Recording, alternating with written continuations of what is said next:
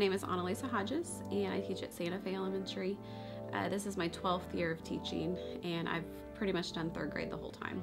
I love third grade because they are old enough to be independent, like I don't have to button their pants anymore and help them go to the bathroom, um, that kind of stuff, but they still, they're at an age where they really like school still, um, and they really love their teacher still, so it's like a, the best of both worlds almost.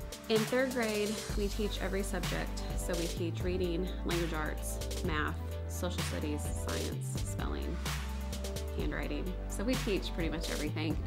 Yeah, so that's what makes third grade hard, um, is that we have to educate them in every subject.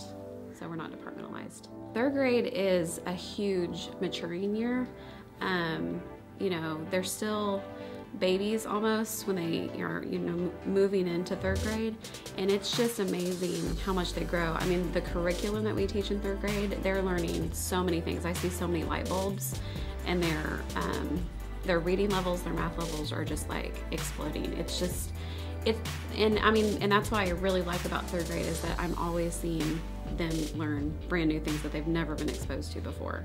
Well, i grew up in a family of educators, and so I was around education my whole entire life. I was running around in elementary school, you know, before and after school my entire life. My dad taught um, in Kansas for over 30 years, and um, I have aunts and uncles that were all in education. Um, so that was a big part of it. Um, I realized probably in high school that I that was kind of the the path I wanted to take.